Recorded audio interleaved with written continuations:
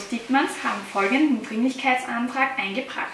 Schaffung der notwendigen organisatorischen und rechtlichen Voraussetzungen sowie Infrastruktur zur Abhaltung der Gemeinderatssitzungen über Videokonferenz. Die Covid-19-Pandemie des Jahres 2020 zeigt deutlich, dass wir als Gesellschaft für derart elementare Ereignisse zu wenig vorbereitet sind. Wichtige Gremien der Gemeinde, wie etwa der Gemeinderat oder Gemeindevorstand, müssen unter hohem Risiko für die Beteiligten noch immer in Form physischer Anwesenheit aller Mitglieder stattfinden. Dieses Risiko wäre durch den Einsatz technischer Hilfsmittel wie etwa Videokonferenzsysteme minimierbar.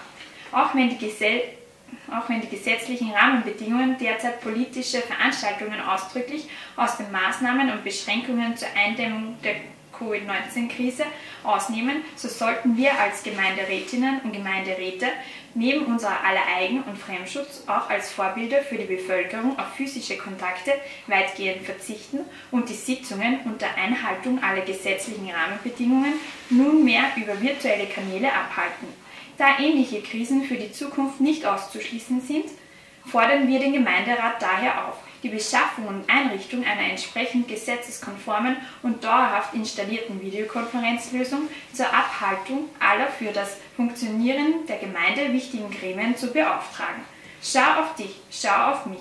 Mit Babyelefant und Reduzierung physischer Kontakte tragen auch wir als Gemeinderat der Marktgemeinde Groß-Dittmanns zur Bewältigung dieser Krise bei.